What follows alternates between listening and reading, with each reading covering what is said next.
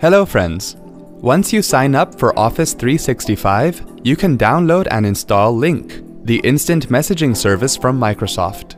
Here are the steps to do so. Open a web browser on your computer. Type login.microsoftonline.com in the address bar and press enter. Sign in to your Office 365 account. In the Welcome section, click on the Software option. Click Set up your software and select the preferred language from the drop-down menu. Lync is a part of the Office 2013 suite that comes with Office 365. Click Install to download the setup file on your computer. Open the setup file and then click Run. In the User Account Control window, click Yes. Wait for the installation process to complete. When it's done, click Next.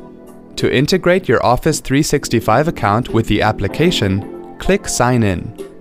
Enter your Office 365 email address and then click Next. Enter your password and then click Sign In. Follow the instructions that appear on your computer screen and then close the browser window.